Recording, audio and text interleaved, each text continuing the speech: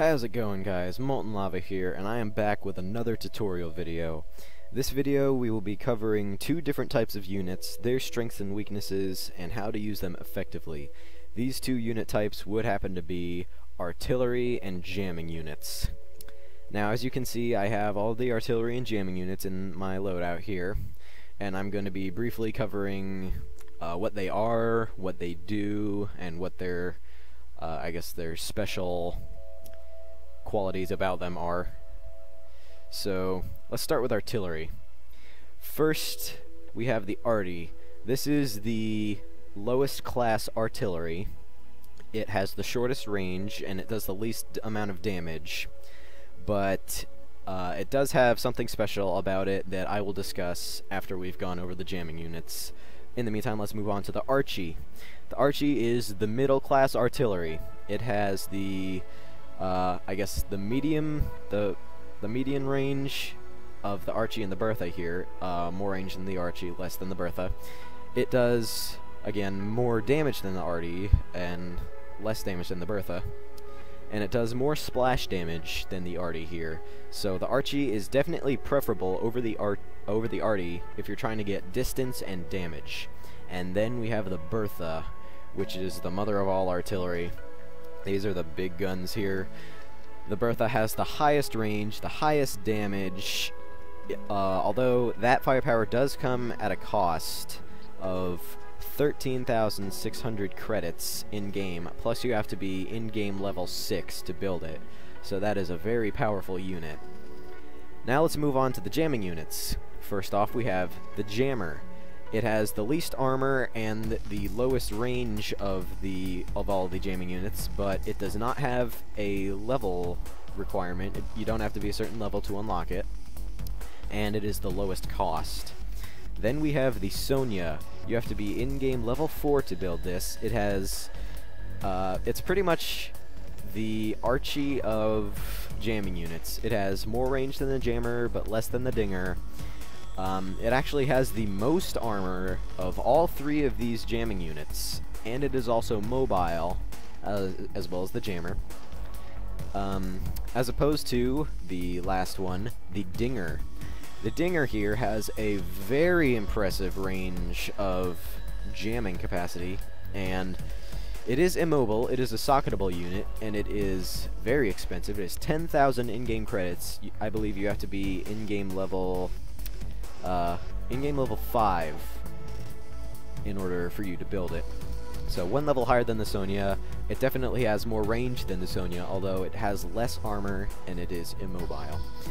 Um, so, what do these units do? Uh, since we're on the topic of jamming units, uh, I will start with them.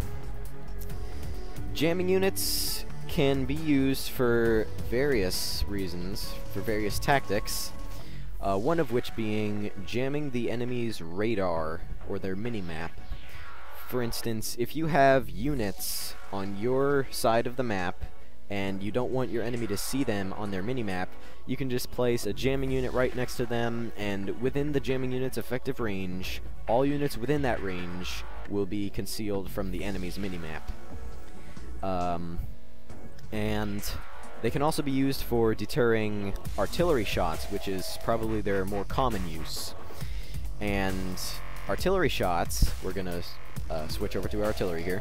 Artillery shots are for when, let's say, the enemy has created a very large clump of units and they have spammed anti-air so that you cannot fly over there and bomb the area, and it has a lot of tanks so you can't send anything what do you do?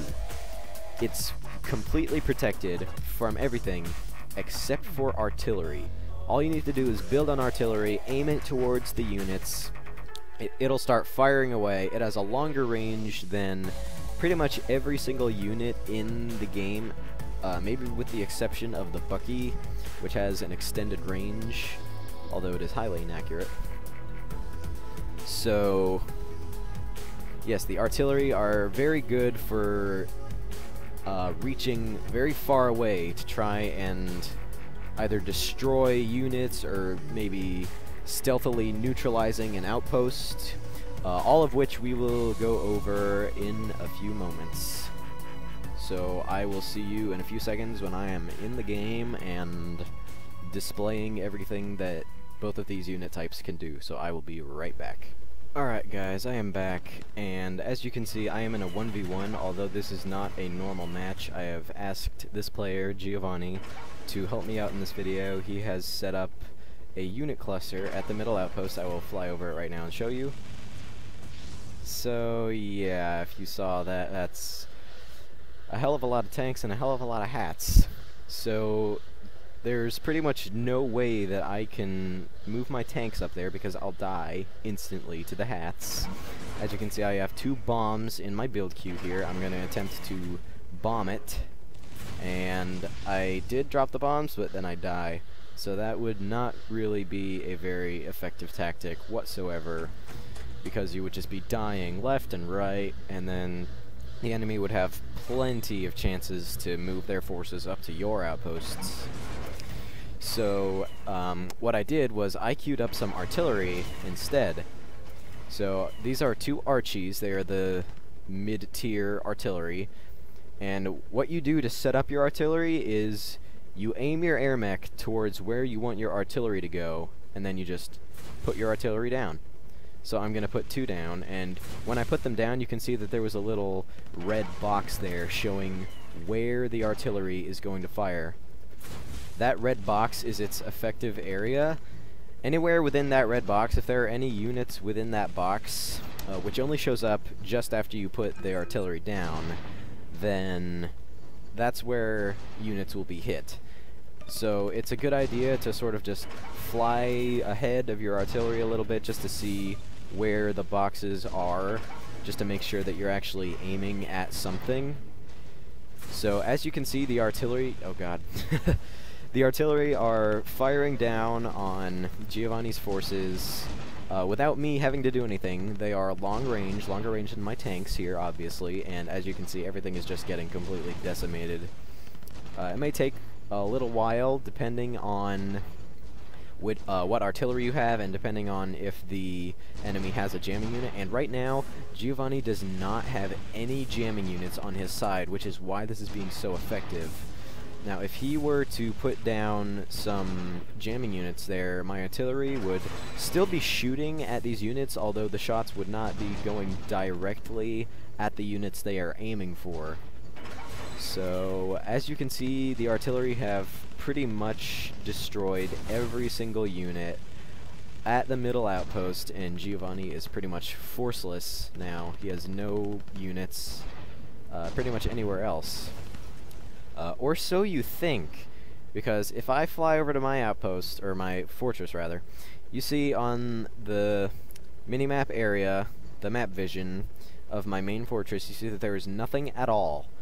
So I'm just looking around here within the range of my fortress, and what do we have here? We have a very large and potentially lethal cluster of longhorns here. All right next to this right here, which is a Sonya. That is the mid-tier jamming unit, and because it is sitting right next to all of these tanks that are in the range of this Sonya, I cannot see them on my minimap.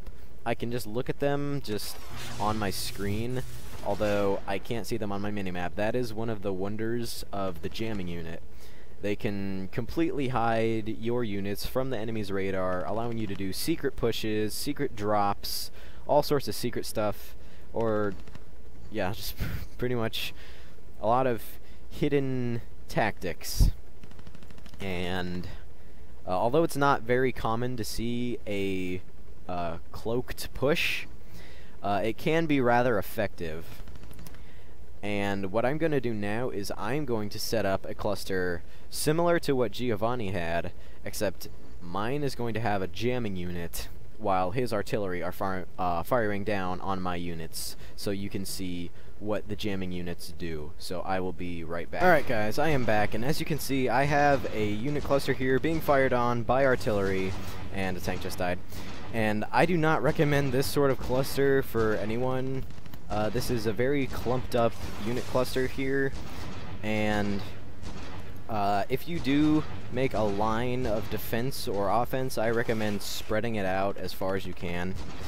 And as you can see, Giovanni has four Archies firing down on my units, but uh, if you have noticed, uh, my units are not dying very quickly, and you may be wondering why is that? Well, if you see right here where I'm shooting and pointing with my cursor, there is a Sonya.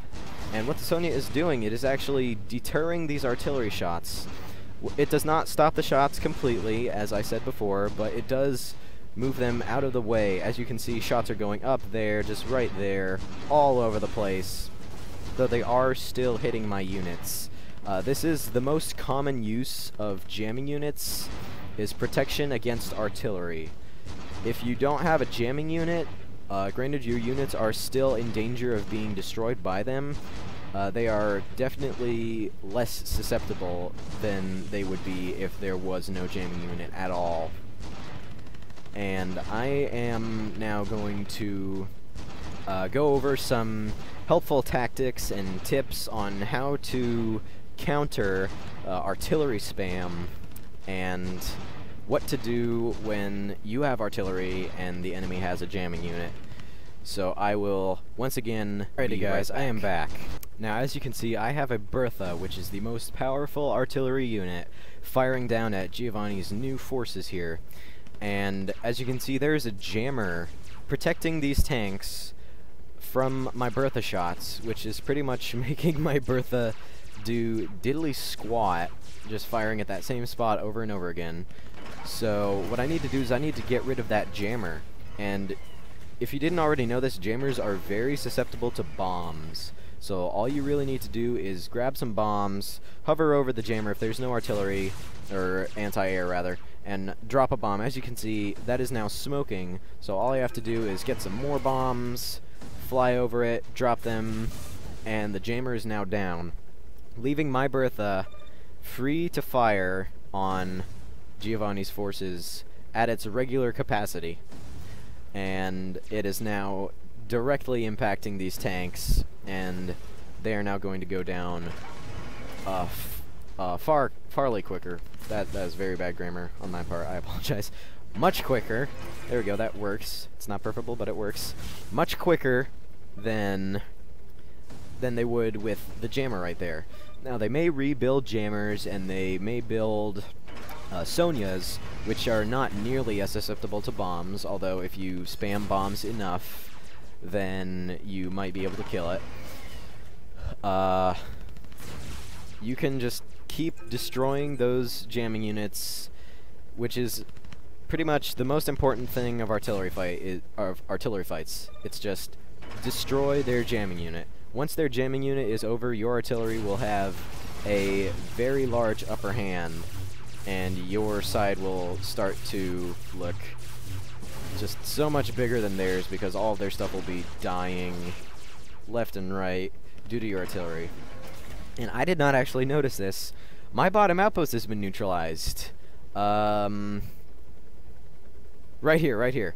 Giovanni has apparently put down a hidden Archie right here. Is that an Archie? Yeah, that's an Archie. Uh, he has put down a hidden Archie right here, and um, I'm just I'm just gonna fly away. Well, I'm actually just gonna recapture this momentarily for the radar vision because I need to show you guys that um, the Archie that Giovanni put down once I've captured this outpost, it is out of the radar range, since there's practically no radar range whatsoever, of this outpost. So this artillery is just free to neutralize this outpost without me knowing, unless I fly by and see the shot or fly by and see the artillery itself. But that is another use of artillery, and its long range is for hidden base neutralizing. I see that quite often, and it works pretty effectively. And that is pretty much that for the uses of artillery and jamming units. I'm going to get these creeps out of here because I don't want them interfering with anything. And yeah, I'm pretty sure that that's all I was going to try and cover. Uh, ooh, yes, one more thing. if you are in an artillery fight and you have just set up an artillery, don't expect it to do all of the work for you. If you set up an artillery, for instance, if I set up this Bertha uh, here, and there were a lot of units right here, uh, they would all be dead because of this Bertha uh, firing in, and I would ex expect the Bertha uh, to eventually neutralize this outpost.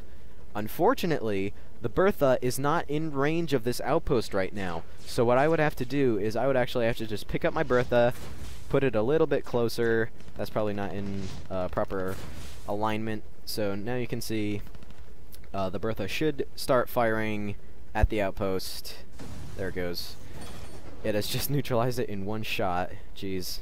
Because there was only one infantry in the slot. Uh, so it is very important to micro around your artillery in an artillery fight because you want to be sure that your artillery are always shooting at something. If they are not always shooting at something, they are pretty much just wasted credits sitting on the field, not doing anything at all. So just micro around your artillery, uh, move it to spots where uh, more units are. Fly ahead when you put it down to make sure that what you're aiming at is actually in the box. As you can see, where I just aimed would probably just be in this little abyss here, not really shooting at anything. And I'm pretty sure that that's all I was going to cover for artillery, so I'm going to head back to my hangar right now, and I will be right back yet again. Alrighty guys, this has been my AirMech tutorial on jamming units and artillery. Uh, if you missed anything, please, if I missed anything, pardon me, if I missed anything, please tell me in the comments, and I will attempt to answer it to the best of my ability. And uh, I apologize if this video seemed a little bit more mediocre than the other tutorial videos for AirMech that are out there. Uh, I am quite new to tutorial videos, seeing as how this is really only my first official tutorial video. Official meaning um, like a walkthrough on units that are in the game and it should be this way for everyone. My previous tutorial video was just the way that I do things. This is the way that everyone should do things, because it's the only way to do them. Um, so, if you have any tips on how I could maybe improve how I make these videos, uh, that would be greatly appreciated. If you don't have any tips, don't worry about it, just try to enjoy the video. Um, before I do go, I do want to give a shout out to RUY. He is a fellow airmecher who has his own YouTube channel, and what he does on his channel is he casts all sorts of matches from airmech, from pros using tactics that make our jaws drop, to the newer players using tactics that make us die laughing. So if you want to see all sorts of great air mech matches without having to find them yourself, RUY's channel is definitely the place to go. Not to mention, his casting videos are quite packed with information on how to become a more skilled airmecher. And he has also started hosting an air mech talk show called Air Mech Talk, in which some uh, some fellow air mech players and he discuss the current state of the game and their input and ideas on what they think would make it better. So if you want a little more chill video of airmech, I recommend you check out Airmech Talk on RUY's channel. Uh, I will be putting a link to his channel in the description of this video. I highly suggest you check his videos out, leave a like or a comment on his videos, and subscribe to his channel so you don't miss any new videos from him. He's just an awesome guy, he's pretty funny, and his videos are just top-notch. So, uh, yes, that is all I have to say. So, thank you for watching my video, and I will see you guys in AirMech. Peace.